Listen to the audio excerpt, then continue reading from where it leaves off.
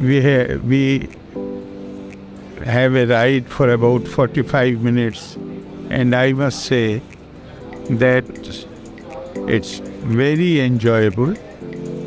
And more than enjoyment, one realizes how water metro has been able to connect the city and the islands and it has become easy for the people to travel from one part to the other part.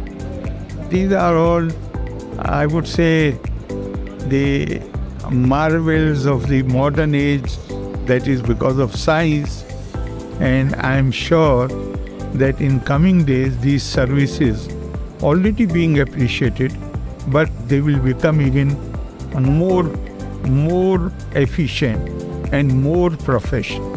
Thank you.